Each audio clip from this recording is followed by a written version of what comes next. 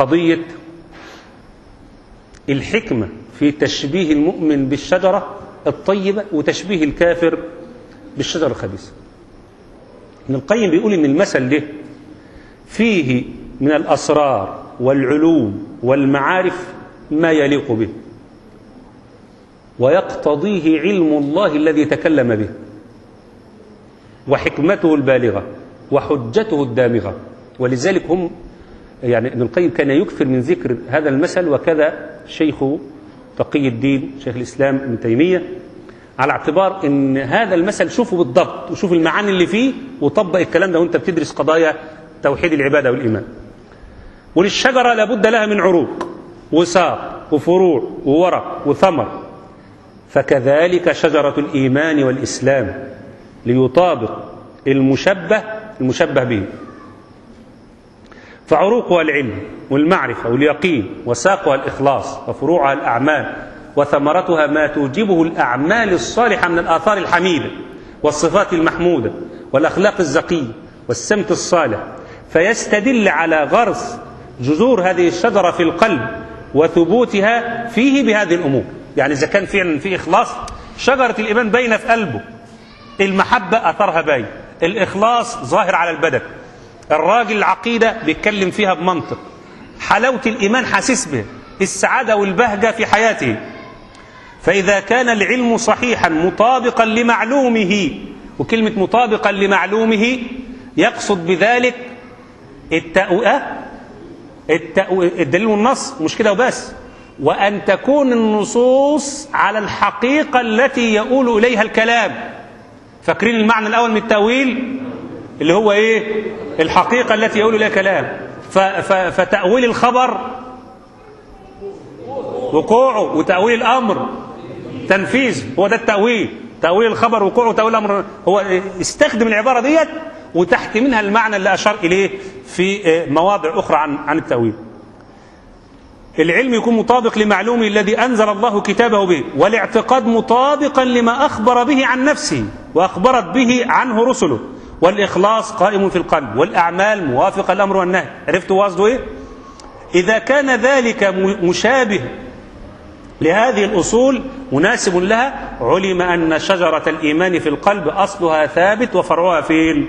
في السماء وإذا كان الأمر بالعكس علم أن أن القائم بالقلب إنما هو الشجرة الإيه؟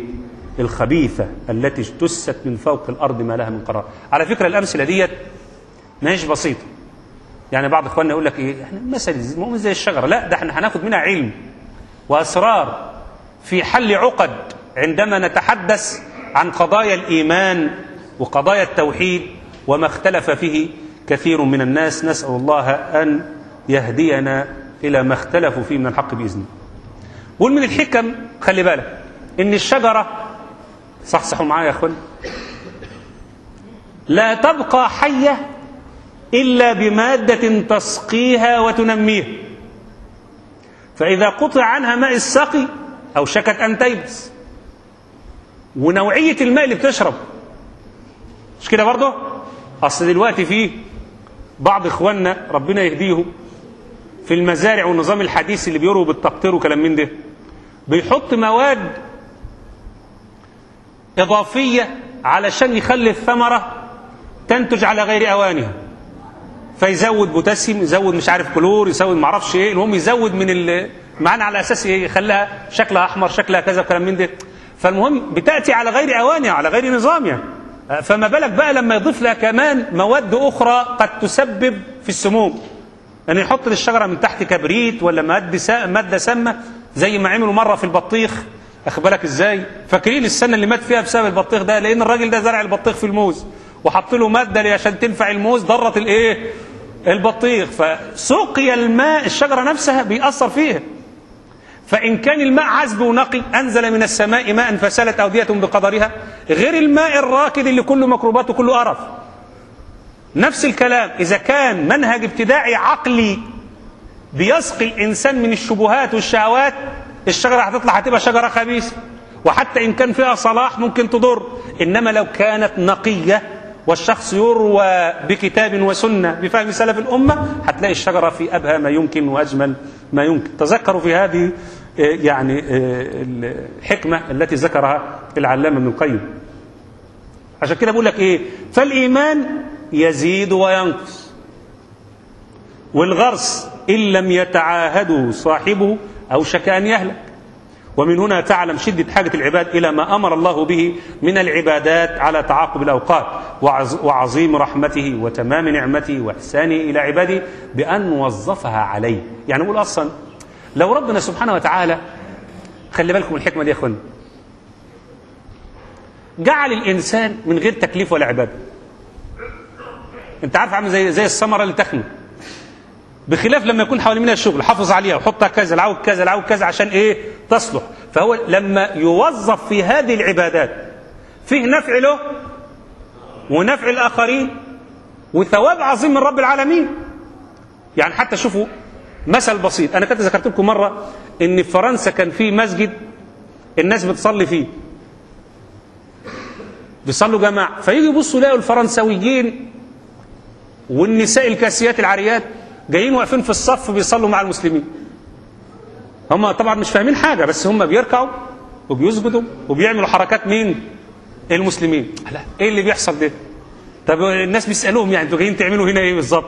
أنتوا مسلمين؟ قالوا لا إحنا ما إحناش مسلمين. بس الدكتور بتاع العظام اللي إحنا بنكشف عنده قال إن علشان صحتكم تبقى كويسة تعملوا إيه؟ نفس الحركات اللي بيعملها المسلمين في الصلاة. فجايين عشان يعالجوا نفسه مش جايين عشان يصلوا. خد بالك إزاي؟ فهو حتى ال الوظيفة أو النظام اللي ربنا سبحانه وتعالى جعله جعله سببا في صلاح البدن وفي الصحة وفي مرونة العضلة. والجهاز الحركي في الإنسان مفيش خشونة. وتلاقي يعني علماء الطب بيبقوا بيتكلموا على الفوائد والحكم المتعلقة بالصلاة عظيمة جدا جدا. خلي بالك حكمة تانية من الحكم ديت مش هطول خلاص أهو. إن الغرس والزرع النافع ربنا من حكمته إنه اجرى العادة إن لازم يطلع حوله نبت غريب. حشائش. بتطلع حوالين الايه الشجر. ليس من جنسه ينازع الشجر على رزقه لا نفع فيه. وشارك الشجر ماء سقياه ومادة غذائه. إن تعاهده صاحبه ونقاه وقلعه أو قلعه ونظف المكان وسواه استكمل الزرع نماء. طب لو سابه؟ مشكلة كبيرة جدا. المحصول بيضيع وفي نفس الوقت ما تعرفش تنقيه من ثمر ال- الخبيث. لكن شوفوا الفلاحين بيعملوا إيه. اشمعنى في حرث الأرض بيبقى حريص إن ما يسيبش اشياء أو حاجة بعيدة عن ال- الزرع؟ غلت يغلت خلينا نتكلم بلغة إخواننا اللي بيشتغلوا في الحشائش. اخد بالك إزاي؟ يحوشوا يحوش الغلت والدنيبة والأشياء اللي بيقول عليها ديت بحيث يخلي مثلا الأرز يعني خالص كده وفيقان يقول لك ده شوف النبات فايق إزاي. ليه هو بي- بي- بيأتي على الخبيث فيزيله؟ لأن المسألة مسألة منازعة بين حق وباطل كذلك بالنسبة للزراعة والشجر. يقول لك ده أوفر للثمر وأطيب وأزكى في منفعته وإن تركه اوشك أن يغلب أوشك أن يغلب عليه النبت الغريب على الغرز ويكون الحكم له والقوة للباطل. ونفس الكلام. إحنا لما اتكلمنا مرة من حوالي فترة طويلة جدا أذكر الله يرحمه الشيخ صفوت نور الدين كنا عاملين اجتماع للدعاء في بورسعيد. أنا فاكر كان في مجمع عمر بن الخطاب. الكلام ده بقاله حوالي 15 سنة تقريبا. على أول ما تولى الشيخ صفوت نور الدين رئاسة أنصار السنة. فكان أنا قدمت اقتراح بأن أنصار السنة تنشئ قناة فضائية إسلامية تعبر عن الإيه؟ عن العقيدة والتوحيد. فكانوا يبصوا لي باستغراب. خد بالك ما أقول لهم يا اخوانا يعني هم عندهم إن الإيه؟ اللي طالما فيه دش وطالما فيه طبق فضائي يبقى ما فيش غير الفسق والانحلال. طب ما هو أنت لو سبت المكان لهؤلاء يسيطروا على الإعلام. المجال اللي هيطلع فيه النبت الإسلامي فين هتفضل الأمة على هذا الوضع. وسبحان الله تمر الأيام وتنشئ الآن قنوات فضائية إسلامية ملاش عدد. مع إن المفترض إن يكون جماعة زي أنصار السنة المحمدية في مصر لها قناة فضائية معبرة عن دعوة التوحيد. مش عارف والله هم سايبين كده ليه. المسؤولية دي عظيمة جدا وأنا أناشد أخونا أو أخانا الفاضل الاستاذ الدكتور عبد الله شاكر إن المسألة دي يحطها في رقبته مسؤولية أمام الله تبارك وتعالى فأسأل الله أن يعينه عليها. لكن ده المطلوب. صحيح أن القنوات الفضائية كتير وكل واحد بيفتحها سواء قناة خاصة استثمارية أو حسب النية لكن ربنا سبحانه وتعالى يكثر منها لأن الكثرة منها تؤدي في المقابل إلى قلة التأثير بالنسبة لقنوات الفسق وإن كانت كثيرة. وهذا أنتم شفتوا مجموعة قنوات قليلة أثرت في العالم الإسلامي إزاي؟ وأظهرت صحوة طيبة وأسأل الله أن تستمر وأن تكثر وأن تتوحد فيها الجهود وأن ينزع ما في القلوب من ضغاء وخلافات. اللهم آمين. حاجة كمان معلش من الحكم هي ومن الحكم من الشجرة يؤثر أصلها على فرعها. مش كده؟ ومن تيمية كمان ويؤثر فرعها على أصلها. الشجرة أصلها يؤثر على فرعها وعلى أوراقها والأوراق والفروع تؤثر على الإيه؟ العامل المشترك.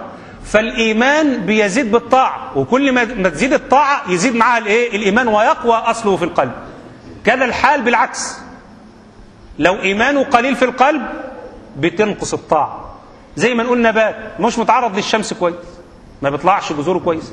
مش كده برضه آه الندى مش نازل عليه المطر مش نازل عليه.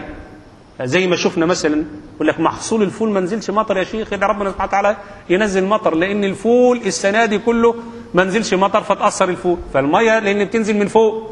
واخد بالك إزاي؟ بتغسل الزرع وتأثر في الأوراق وتؤثر أيضا في الجذور والنماء. وكذا الحال بالنسبة للجذور. أنا حاسس إنني طولت عليكم. آخر حكمة من الحكم المتعلقة بمثل الشجرة بعد أن نصلي على رسول الله صلى الله عليه وسلم. اللهم صل وسلم وبارك محمد. بيقول لك إن الشجرة ربنا ضرب المثل دقة متناهية في المثل دي عشان تشوف شجرة الإيمان. تنفي أي عضو معطوب فيه. أي عضو معطوف في الشجرة بيسقط على طول. تمشي في الورقة تلاقي ورقة خربت في الشجرة أو سقط ما تسيبهاش. خد بالك إزاي؟ أهو. أي عضو معطوف فيه. طب طب والنخل يا شيخ؟ ما الفرع الأخضر بينشف. بس بيبقى نافع. لغاية ما يؤخذ. خد بالك إزاي؟ يعني أي عضو معطوف في الشجرة لا ينفعها تسقط. فالورقة تسقط إن لم تكن فعال. والفروع تتهاوى إن لم تكن قوية حمالة.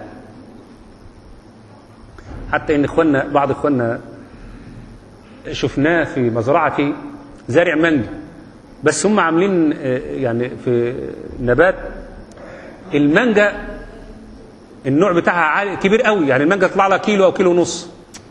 والشجرة ما تتحملش الكلام ده. خد بالك إزاي؟ فيقوموا يقصوا الإيه؟ الفروع على ش... مع إنها بتنزل بمانجا كتير لسه في بداية تكوينها. يقول لك لا أنا بنزلها لإن إيه؟ دي ممكن تأثر على الإنتاج. على اعتبار إن الفرع الكبير هيطلع ثمر كتير وكويس. فهو حتى قبل ما يعمل هو بيدرسها. لكن هي الشجرة بطبيعتها إن أي عضو فيها غير نافع بتنفيه وكذلك مثل المؤمن إذا أذنب ذنبا أو أصاب مالا حراما أو أصيب بالبلاء والمحن استغفر ربه وطهر ماله وزكى قلبه.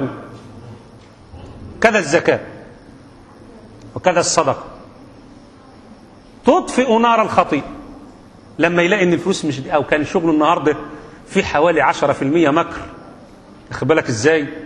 و90 20% يبقى عامل حسابه إنه يتصدق بمثل هذا الجزء. يقول لك والله أنا حاسس إن في حاجة مش كويسه عندي لا يرضى بالحرام ما يقدرش. لأن طبيعته طبيعة ذكية طاهرة. حتى يكون طيب الرائحة كثير النفع له ولغيره كما هو حال الشجر الطيبة في نفعها ريحها طيب. ثمرتها طيبة ينتفع بكل جزء منها ساقا وفروعا واوراقا. مثال بقى الأخير في الشجرة الخبيثة التي اجتثت من فوق الأرض ما لها من قرار. لا عروق لها ثابتة ولا فروع عالية ولا ثمار زكية لا ظل لمستظل حتى مفيش فيها ورق تغطي حتى ظل ولا ساق تنمو ولا عرق. الشجرة ديت مصيرها إيه؟ الحرق. مش كده؟ بيعملوها حطب. تجتث من فوق الأرض الوقود والحرب كذلك المشرك والمجرم والكافر والمنافق والكذاب والفاجر. ما يلبث أن يراوغ ويكذب ويتحرى الكذب وبعدين ينكشف ويؤذي الآخرين ويأكل أموال الناس الباطل ولو كانوا فقراء مساكين.